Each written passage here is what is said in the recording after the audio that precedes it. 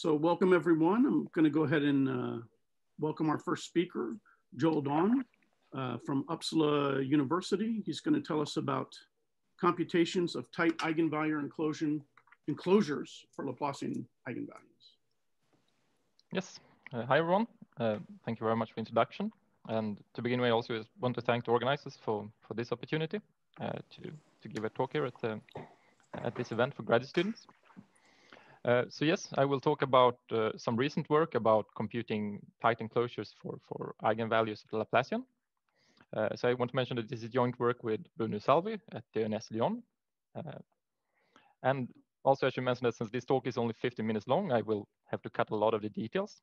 Uh, so if you want more details, you can ask later or you can and look in the in the paper, which has the same title and was recently published in the Science Journal of Scientific Computing. Yes. So as the title says, I will talk about computing eigenvalues of the Laplacian. Uh, however, the motivation for doing this comes from a different area of mathematics, which is uh, discrete walks. Uh, so this area of discrete walks is an active field of research.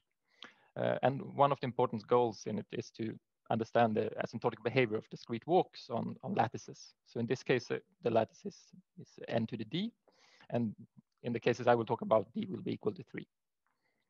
Uh, so the number of walks of length n, which starts and ends at the origin in this lattice, uh, asymptotically behaves like this. So there's some constant, which is not too important. It's uh, the rho, uh, which is easy to compute if you just know which discrete walk you're working with. Uh, and then it's this alpha value, which is more complicated. So alpha can be computed in this way. Uh, so it's given by this formula where lambda 1 is the first eigenvalue of the Laplacian on a spherical triangle. So exactly which spherical triangle it is depends on the on the on the precise walk, uh, but the first eigenvalue of the Laplacian on, on some spherical triangle. Uh, and one important question about this alpha is if it's rational or not. So depending on if it's rational or irrational has important implications when you when you look at the combinatorics uh, about this. Uh, so this is the motivation, but what I actually talk about is how to compute rigorous enclosures of eigenvalues of the Laplacian on spherical triangles. So I will not discuss any of this part. Uh, I will come back slightly to this alpha towards the end, uh, but otherwise my focus will be on computing these rigorous enclosures of, uh, of the eigenvalues. So we want to compute an enclosure. Uh, what we need then is to some way to, given an approximation, compute, uh, compute sort of error bounds to get our enclosure. And the main tool uh, we will use is this theorem by Fox, Henrici and Moler from 1967. Uh, so what it says is that given lambda and this u lambda, which is an eigenvalue and an, uh, which is an approximate eigenvalue and eigenfunction, and approximate in this case means that they they do satisfy the differential equation inside of the domain D, but they do not necessarily satisfy the boundary condition. So they're not true eigenvalues and eigenfunctions because it's it's not identity equal to zero on the boundary. It's, it's called an approximate eigenfunction. Uh, but this, given this approximate pair, uh, we can define epsilon to be this the square root of the area of the domain times the maximum of the of the approximate eigenfunction on the boundary divided by the norm of this uh, approximate eigenfunction. The uh, theorem then tells us that uh, given this epsilon, there exists a true eigenvalue, lambda star, which is uh, satisfies this, meaning that uh, lambda star is close to lambda if epsilon is small.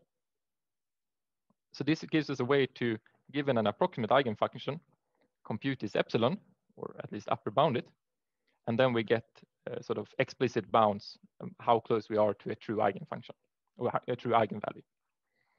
Uh, so we want to find this lambda and u lambda. And what we want to do is, is with this is we want to make this epsilon small.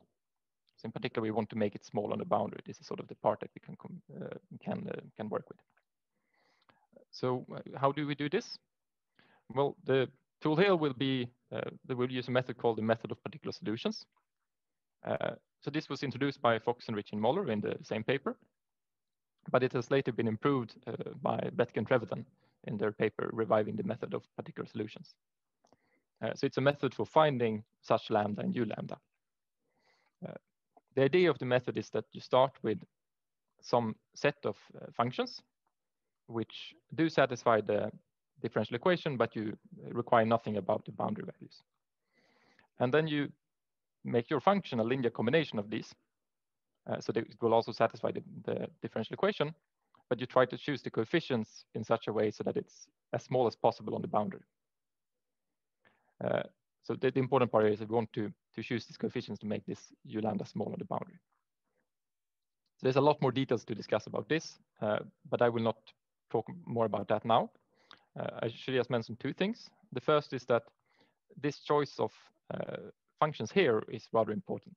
So to get good convergence, we need to have a good set of functions that we that in our basis somehow.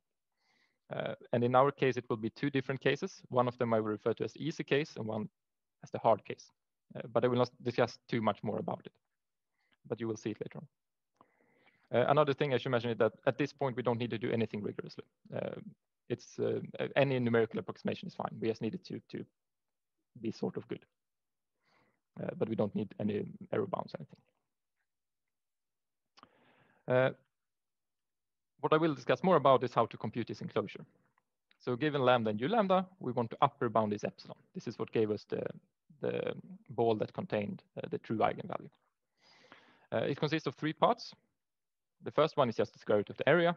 This is easy to handle, there's not much to discuss. Uh, the first, the second part is the, the norm of this eigenfunction, or this approximate eigenfunction. And in this case, we need a lower bound of it since it occurs in the denominator. Uh, and it's also this the supremum on the boundary, so the, the maximum on the boundary. Uh, and here we want an upper bound uh, in this case. If we start with a norm, uh, we will lower bound the norm by computing in a part of the domain.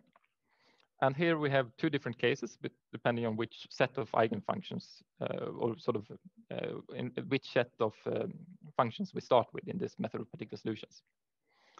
Uh, in one of the cases, the easy case, uh, this norm reduces to a sum of 1D integrals if we consider it as a specific part of the domain.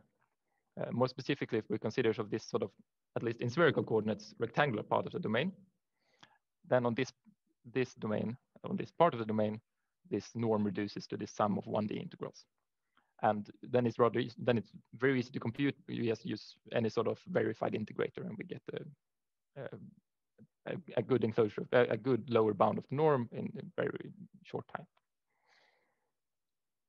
Uh, the harder case, uh, we have to work a bit more. Uh, so we, it doesn't reduce to some sum of 1D integrals in this case. Uh, but instead we follow uh, some recent work by Gomez Serrano and uh, Orriols. and what we do then is that we partition the domain into smaller pieces. And on each part, we use a version of the minimum principle and together with the Faber-Krahn inequality to get a lower bound for the eigenfunction in each part. So we manage to lower bound the eigenfunction in each of these parts in the partitioning and from this, we can then uh, trivially get a lower bound for the, for the norm. Uh, this is uh, much more costly to do numerically. So, so this part is very cheap, whereas in this harder case, we have to work a lot harder for this. Uh, okay, and then it's the upper bound of the maximum. Uh, there are two complications here.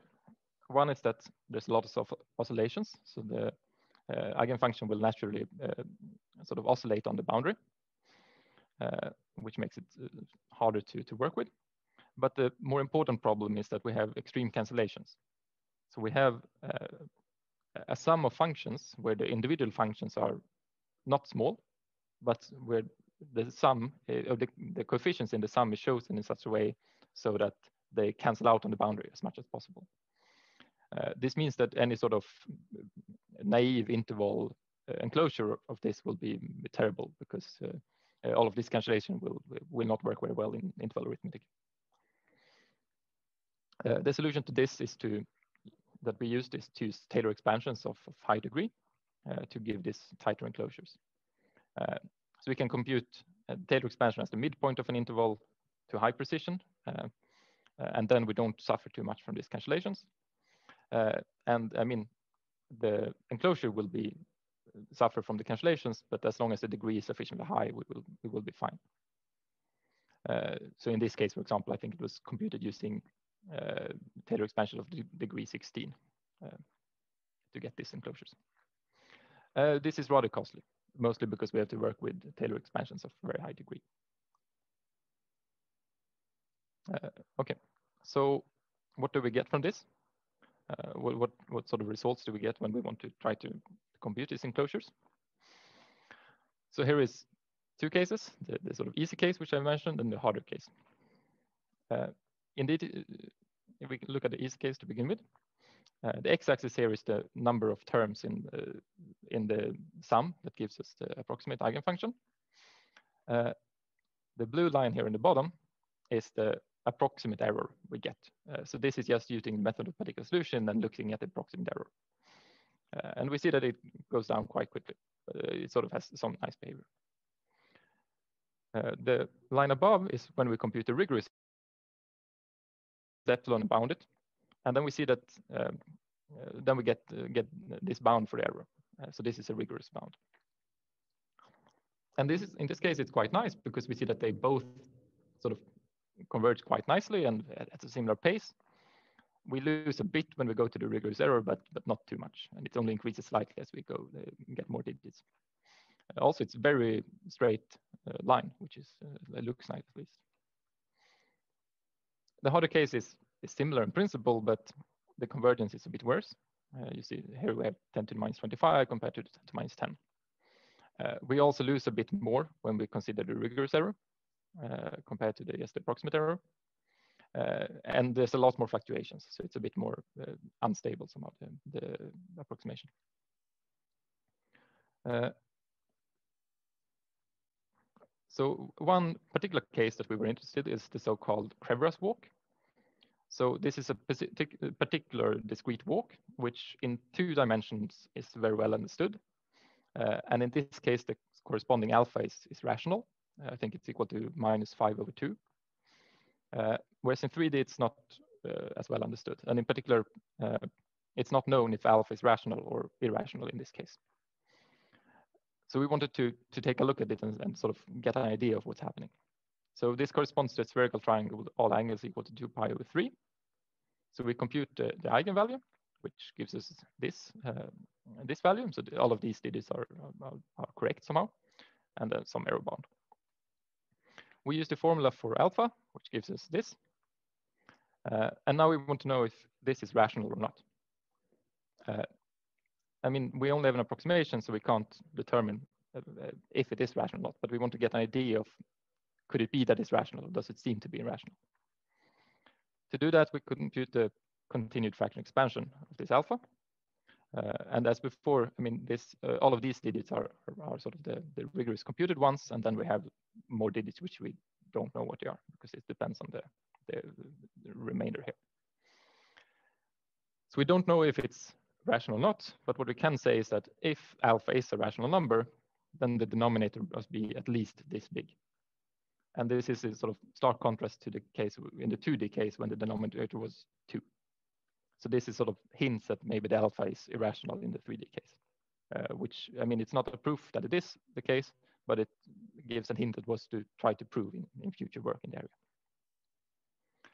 Uh, finally, I just want to say something about certifying the index of the eigenvalues. Uh, so with the method as I described, we can find enclosures of eigenvalues. And this we can do fairly well. But we cannot say anything about the index of the eigenvalue. Uh, we don't know which one it is. And in our case, we need it to be the first one because this is the one we use in the formula. But what we did is we used uh, a domain inclusion principle to find a lower bound for the second eigenvalue in our case. Uh, so what we did is that we extended the spherical triangle to a slightly larger domain. And on this larger domain, we could compute these eigenvalues exactly, or we compute them as zeros of functions. And then we know the index.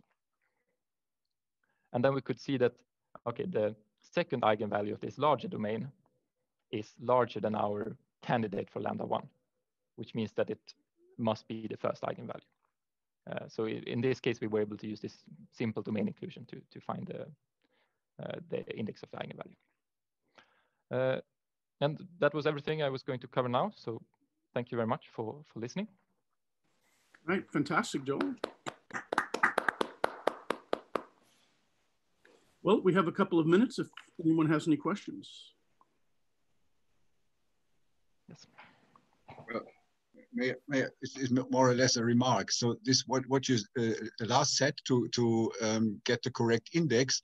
This is of course this is the principle of comparison problems, and um, um, that's that's of course uh, precisely uh, the basis of uh, my homotopy methods. That that's just to to explain to people the relations to uh, to what I did, right? So that, that just as a little remark. And in our case, we were quite lucky because it was sort of enough that we could extend yeah. it to this domain and then it worked. But if it was yeah, not, then we would have used some. In fact, you need only one. You need only one homotopy step. That's that's the yeah. that's uh, what yes. one should say. Yes, that's true. Excellent. Any other questions or comments? Can I have a question? Uh, yeah, please. Okay, first I want to confirm what kind of base function are you using to construct the approximate, approximate eigenfunction? Uh, so they're called the spherical harmonics or Fourier functions. Uh, so it's um, uh, they are uh, they are they are solutions to the Laplace equation on the sphere, but since we only care about part of the sphere, you can do some on the sphere. Some of the coefficients have to be integers, or some of the parameters have to be integers. Uh, but since we only care about part of the sphere, they will have sort of fractional uh, uh, parameters. So it's the, the spherical harmonics is the, the key term to look for. Okay, so not the polynomial I see. Okay. No. no. So, no, so it, because they need to uh, exactly solve the, the PD. Uh, so they need to be solutions to the Laplace equations, which means that you're, you're quite restricted in your choice of, of basic functions. But in a sense, you are you're, you're lucky that you can solve these this equation exactly. So that's particular for the spherical situation. So you cannot extend that to other eigenvalue problems so easily, right? No. So you need to have some sort of basis which solves the PD. That's true. So if if uh, uh, you can choose a polynomial basis function, then it will be very convenient to compute the maximum maximum, yes, the at infinity error estimate, uh, because there's some special property about poly polynomial. Okay, this is just one comment. Uh, of course, now you are not using polynomial. Okay, uh, so yeah, yeah, that's. Um, uh, so we do some sli slightly smarter things than what I presented here, because I mean we compute Taylor expansions of high order, and then we can do some smart things to get the maximum of these polynomials uh, of the Taylor expansion, and then add error. Uh, so also, uh, if, okay, another comment. You see, this is the, for over the sphere domain. For yeah. Domain, I think there are some results you may, uh, maybe you know. So there are people to give very uh, sharp, precise bound for the Laplace value, maybe until the 100 digits to, to use this uh, Fox method. Yeah. So let me actually suggest that we um, thank Joel again